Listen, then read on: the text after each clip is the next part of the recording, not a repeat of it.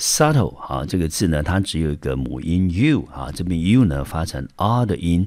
好，那这边呢，同 Andy 要提醒同学的是，这个 b 啊，注意它是不发音好，所以整个字我们念成 subtle，subtle。好，那 subtle 在这边呢，它是一个形容词，中文把它翻成不易察觉的、淡淡的或者是非常细微的。好，英文念成 subtle，我们看它的英文解释，not obvious。好，它是不明显的。Obvious 这个字呢，它的意思就是明显的，difficult to notice 很难去注意到啊，那是不是就是不易察觉的、淡淡的、轻微的呢？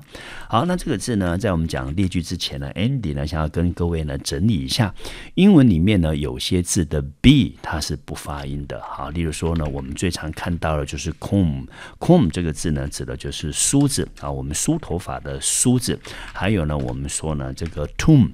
Tomb 呢就是墓碑、坟墓的意思。那还有另外一个我们最常见到的就是 bomb，bomb 这个字呢指的就是炸弹。还有另外一个字就是 womb，啊，womb 这个字呢指的就是子宫。还有另外一个也是大家国中就学过了，叫做 climb，climb 的意思呢就是攀登、爬的意思。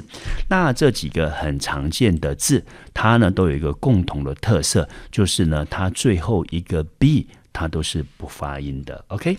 好，我们来看例句。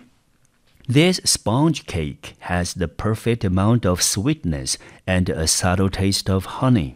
好，sponge cake，好，这边呢指的就是什么呢？海绵蛋糕。他说呢，这个海绵蛋糕，好，这个 sponge 这个字，好，它原本的意思就是海绵的意思。OK，海绵蛋糕呢有一个呢完美的。